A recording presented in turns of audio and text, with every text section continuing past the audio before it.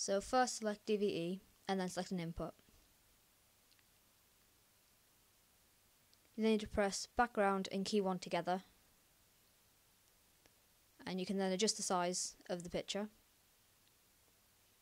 We did about 40%, this makes it just small enough. You can then adjust the X and Y values to change the position of it, but don't change the aspect as this can mess up the size of the image.